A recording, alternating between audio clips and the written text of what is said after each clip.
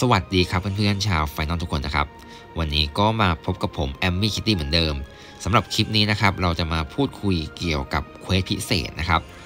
ซึ่งเป็น quest ของอีเวนต์ฮัลโลวีนนั่นเองนะครับ เดี๋ยวเราก็ไปดูรายละเอียดกันเลยดีกว่านะครับ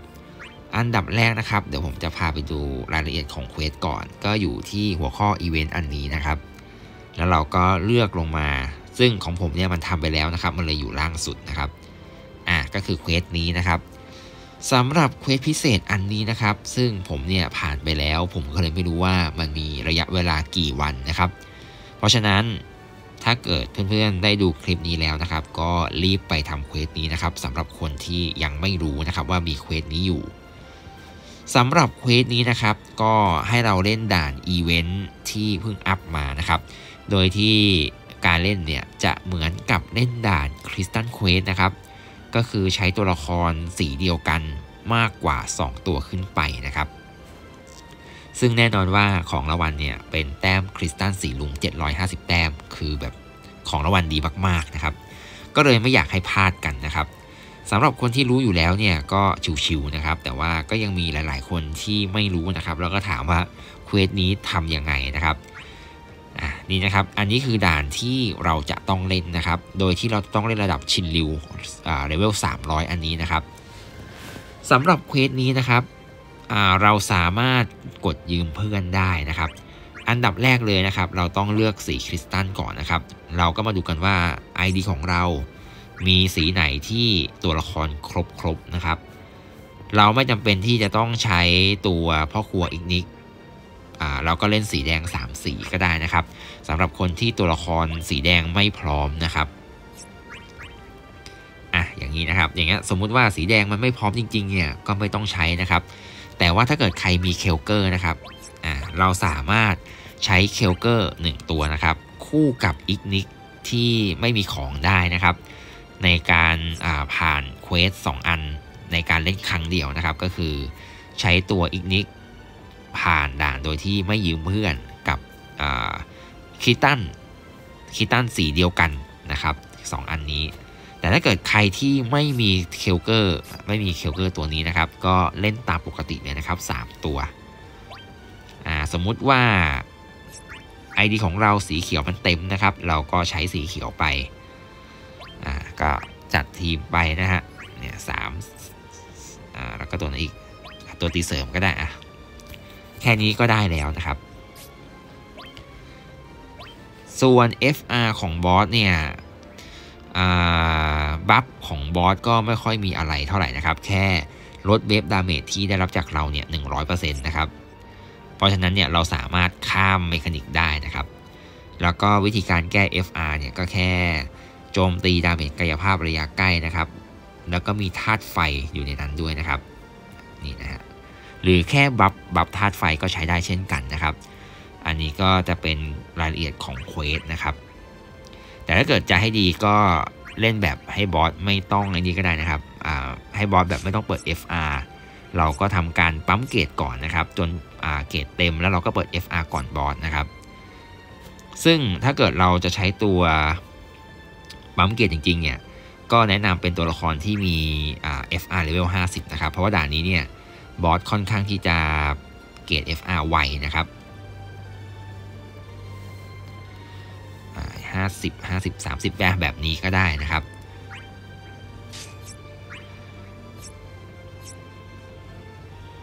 เดี๋ยวผมใส่ของก่อน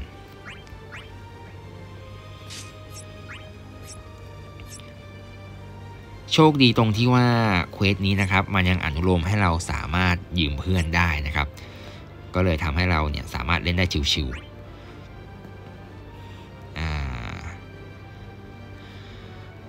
เอาตัวคาดาสมาแล้วกันนะครับเนี่ยฮะก็แนะนำประมาณนี้นะครับสำหรับการจัดทีมในการผ่าน quest ที่ใช้คริสตัลสีเดียวกัน 3 ตัวแบบนี้นะครับ เราก็มาดูเกร็ดเล็กๆน้อยๆนิดหนึ่งนะครับสำหรับตัวละครที่ผมแนะนำนะครับ ก็แนะนำเป็นตัวละครที่มี FR เลเวล50 2 ตัวขึ้นไปนะครับ เพราะว่าเกรดด่านนี้เนี่ยเกรดของบอสเนี่ยจะขึ้นไวกว่าเกรดเรานะครับ ถ้าเราเอาแต่ตัว 30 ไปเนี่ยยังไงเกรดบอสก็เต็มก่อนเรา แล้วก็ FR ของบอสเนี่ยมันจะลด brave damage ของฝั่งเราเนี่ย100%นะครับ แล้วก็อีกอันนึงที่สำคัญเลยนะครับ ก็คือ call ทองของไรจินนะครับ เอาไว้ไปหลบ debuff จากขีด FR ของบอส2ขีดนะครับ เพราะฉะนั้นเนี่ยสิ่งสำคัญเลยก็คือ call ทองไรจินนะครับ ในกรณีที่เราไม่มีตัวหลบ debuff นะครับ แต่ถ้าเกิดใครมีตัวหลบ debuff ก็เอาตัวหลบ debuff ไปได้นะครับ ส่วนทีมในนี้เนี่ยมันไม่มีตัวหลบ debuff นะครับ ผมจึงต้องใช้ call ทองของไรจินนะครับ ส่วนตัวที่3เนี่ยเป็นตัวปั๊ม gauge นะครับ ก็สมมุติว่าตัวที่3เนี่ยเป็นตัวที่ไม่มีของนะครับ เอาไว้ปั๊ม gauge อย่างเดียว ก็ยืมเพื่อนเป็นตัวเสริม damage ไปนะครับ ไม่จำเป็นต้องเป็นคาร์ดานะครับ จะเป็นไวส์ก็ได้ เป็นตัวอื่นก็ได้นะครับ อยู่ที่การเลือกทีมของแต่ละคนเลยนะครับ อันนี้ก็เป็นเกร็ดเล็กๆน้อยๆเบื้องต้นนะครับ ในอันดับต่อไปก็ไปดูที่เกมเพย์ตอน สู้กับบอสแล้วก็ฆ่าบอสกันเลยครับอิสัต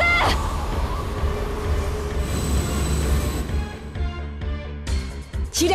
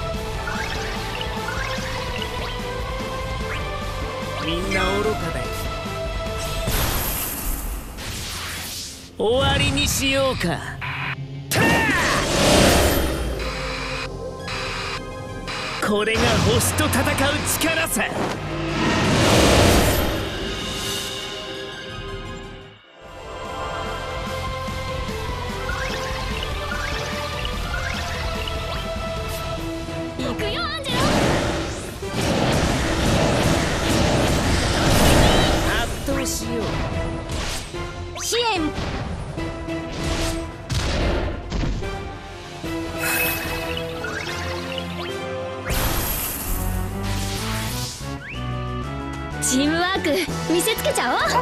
負けられない。最後にしましょう。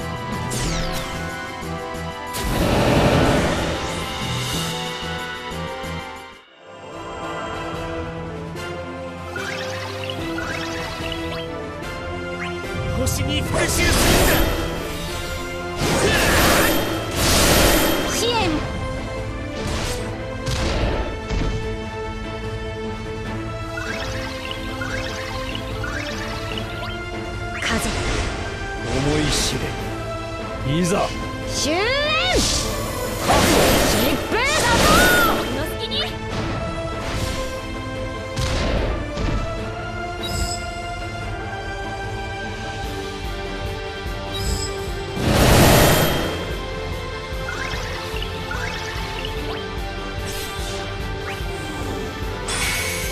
どうですか？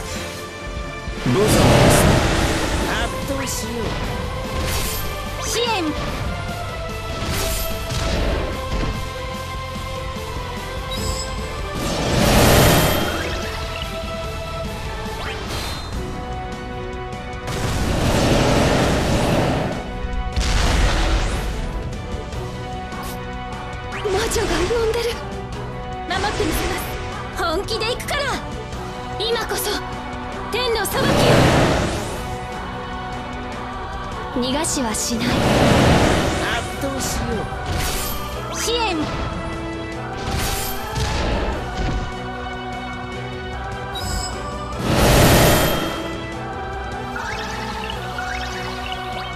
見せてあげる。よ。汚れる。な無に沈め従えよ侮る。な隕石よ悪くないと思うよ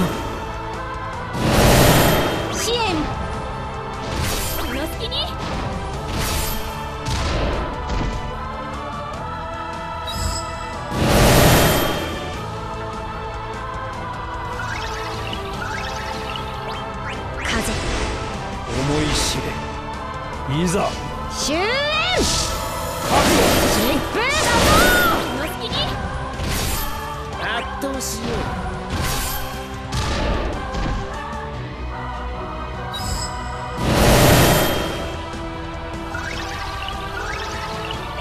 魔女が呼んでる。ママクにせます。本気で行くから。今こそ。天の裁きよ逃がしはしない。う圧倒しよう。支援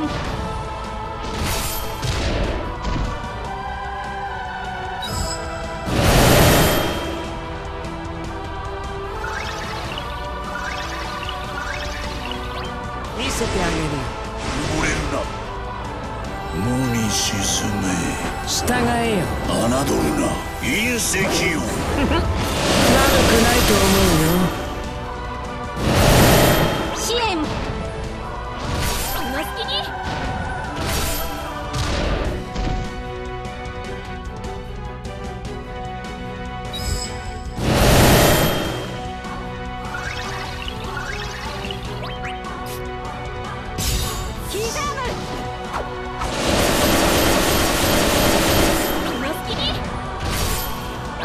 し。よう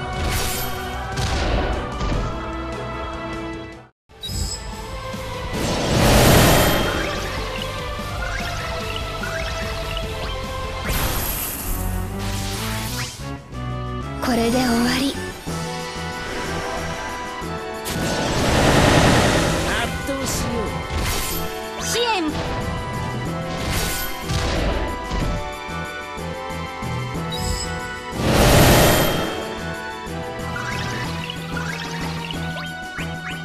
れで終わり。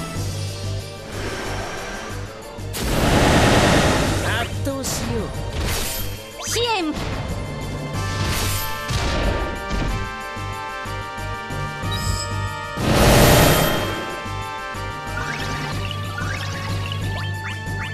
これで終わり。圧倒しよう。支援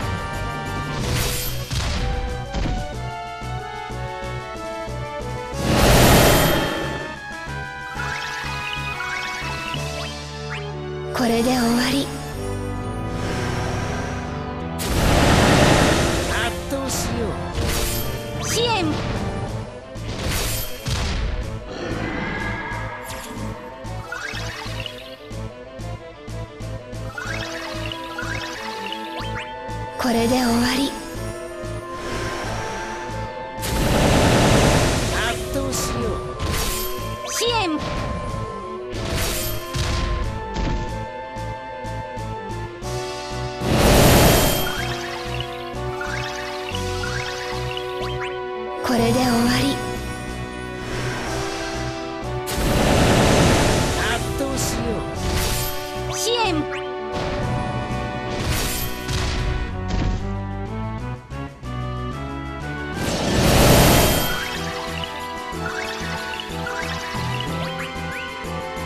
チームワーク見せつけちゃおう。負けられない。最後にしましょう。